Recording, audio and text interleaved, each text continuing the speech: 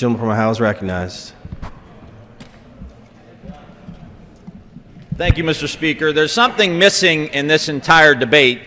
Over the course of the last 30 years, in the 1970s, if you'd have seen the real income for the top 1%, it accounted for about 9% of real income.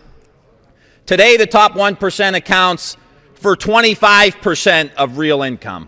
The top 400 wealthiest people in the United States of America pay a tax rate of 17%, while the fella in Youngstown, Ohio is paying a much higher tax rate. And the sky is falling.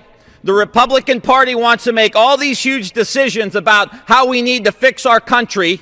We need the wealthiest in our country to become patriots and step up the bat and help us solve this problem. Everyone here is being asked to sacrifice. The military, the middle class, the parents trying to send their kids with Pell Grants, the schools that get Title I, all being asked to sacrifice, but for the top 1% of the wealthiest people in this country. It is absent from this, de this debate.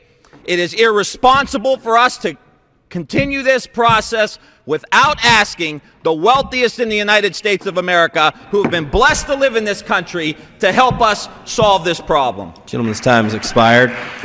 For purposes